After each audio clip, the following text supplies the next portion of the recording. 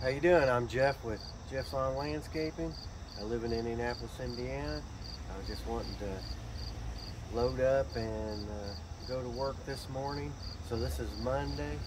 Usually I uh, do the push mowing on Mondays, but uh, I've got a, a couple of them uh, that I'm behind on that I have to bring the walk behind with me on it. So I'm gonna load up push mowers and the 36 inch Exmark. So the red chuck, I gotta put the the ball on here where I can uh, pull the trailer. I've been having a little bit of trouble with the red trailer or the red truck, but I was gonna go ahead and uh, hook it up and, and see how it pulls and, uh, and and see. I've been driving it around a little bit and it's been doing good. I'll just see, have to see how it does when I hook the trailer up.